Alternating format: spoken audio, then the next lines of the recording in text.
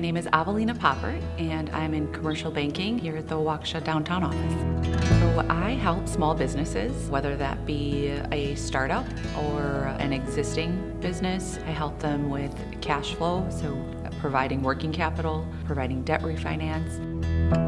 So the best part of my job that I feel is seeing the entrepreneurship come to fruition. So having to be involved from the beginning is one of my favorite things. So to see just the hard work that they've put into it, just how much they are so passionate about it, it just gives me a great feeling to that I was actually uh, able to be a part of that. My father is in mortgage banking. He's been in mortgage banking for a very, very long time.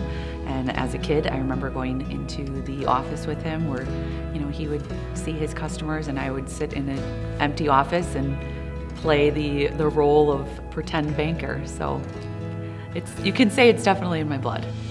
Seeing him being able to help people with their dreams of being a homeowner definitely inspired me to want to help others have their dreams become reality where it came into owning their own business. I am grateful that I found Waukesha State Bank and the people that work here. I'm excited for, for the future to come.